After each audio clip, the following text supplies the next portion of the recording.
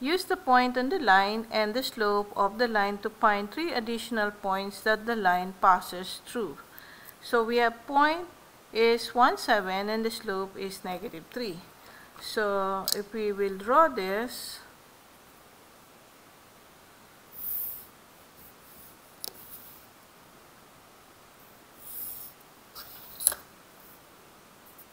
So this is your y-axis, this is the x-axis. So we have 1, 2, 3, 4, 5, 6, 7, 8. So this is 7. And we have 1, 2, 3, 4. So this is 1. So if x is 1, y is 7. So this is your uh, 0.17.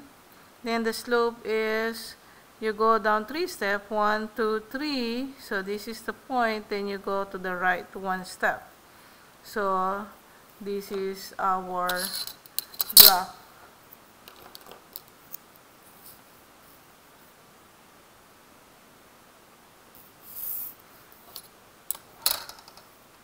Now you cannot get the uh, additional points by graphing if you will not graph in proportion. So there's a possibility that you will make mistakes.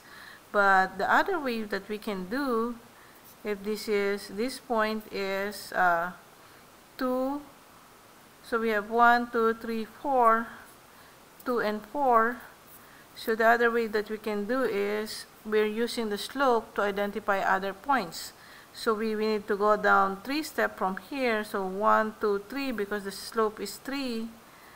And another uh, from two is three. So we can say this is three, uh, three, one. So we need another point. So we need to do three steps down again. So we have zero, one, two. So this is negative 2. And one step to the right is uh, the 4 so this will be equal to 4 negative 2 so what we did is we follow the slope because it's negative 3 so meaning you step down. So we have 1 2 3 step and the slope is negative 3 over 1 so one step to the right. So if this is 1 we will have 2 then another 3 step down then if this is 2, this will be 3.